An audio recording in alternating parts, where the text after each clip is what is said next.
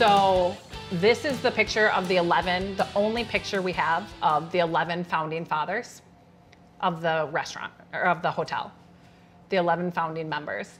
And as you can see, this gentleman here, yep, notice anything? He's sleeping.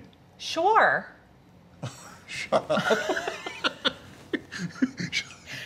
Shut up. Not really. So for seven years, I was always told that gentleman had been passed away, right. that they had propped him up for this picture. So That's- we, we called him Weekend at Bernie's, That's what. is what we did.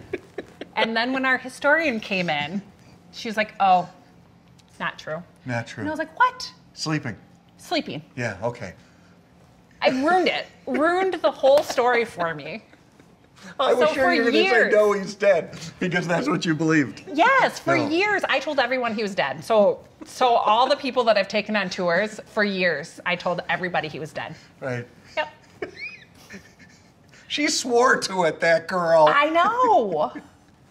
I was, Nice. These are the guys. those are the guys. Yep.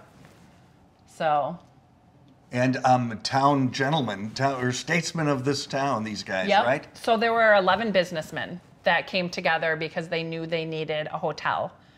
Um, so they came together with $60,000 to build the historic St. James. And in this historic part, the, the original Yep. part, how many how many guest rooms in this part? so in this part, we have 58. 58. 58.